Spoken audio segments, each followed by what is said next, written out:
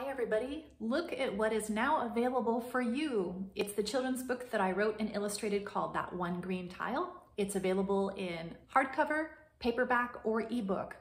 Check out your options on my website, brittajocreative.com. Thanks everyone.